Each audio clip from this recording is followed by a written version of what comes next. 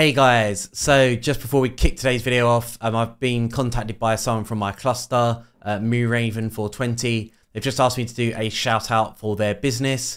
So we're just going to quickly hop on um, Google Drive and sort of have a look at what they're selling, talk you through that, and then we'll uh, pull some shards. So here is um, examples of the flags that Moonraven's business makes.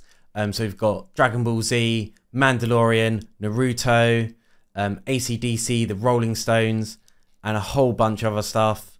Um, really cool artwork. But if you want as well, they do customizable designs as well, completely customizable. Um, it's three by three or three by five feet. Um, and it's start their flags are starting at fifteen pounds each. Uh, sorry, fifteen dollars each. Sorry, different country, different rules. Um, yeah, so you know, you want to spice up your bedroom, your dining room, uh, I don't, your gaming room, your lounge, whatever. Want a flag? Uh, please get in contact with them, and they'll happily uh, make that for you. Unfortunately, they only ship in um, USA and I believe Puerto Rico. Um, you know, I'm sure they're looking to expand, and maybe hopefully at some time in the future they'll be able to ship out further across uh, the world, and even potentially to the UK as well. But yeah, so this is their site. And like I said, I'm going to leave the email to get in contact if you want to get one, um, and the pricing and the link for this all in the description below.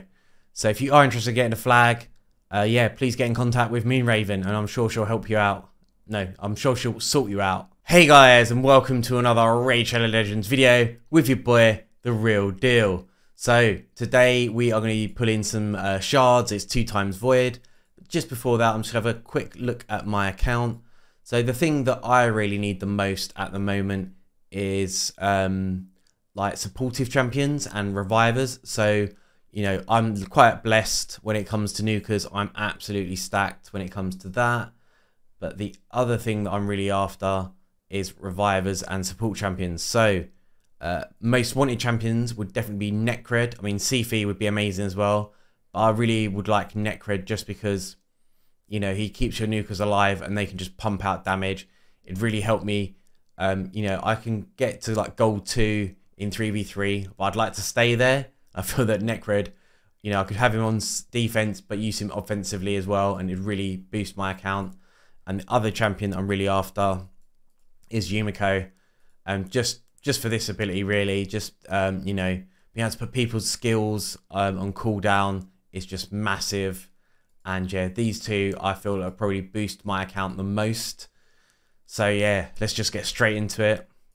And I definitely feel like I should be getting something. Um, you know, I got to be in Mercy now.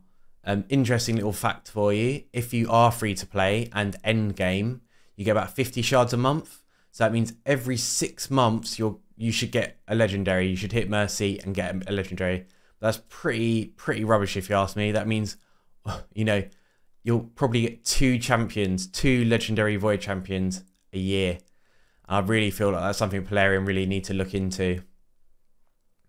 Another Umbral Enchantress. She's a great champion. I really like her. I only just recently got on my account, and she is absolutely amazing. Um, two two turn provokes, great for the arena.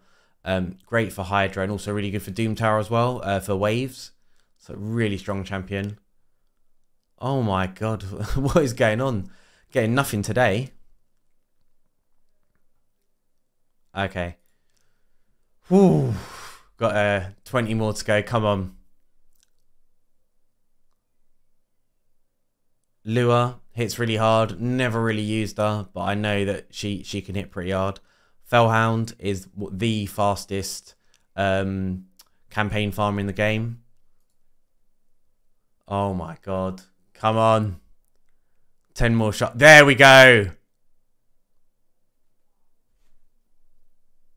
Oh, yes. That, wow. Wow. I mean, I've already got Constantine, and I was just like, what the hell? How can you have two, like, we'll look at my account in a moment, but another Arbiter, absolutely amazing. Um, that's really going to boost my teams uh, for Arena.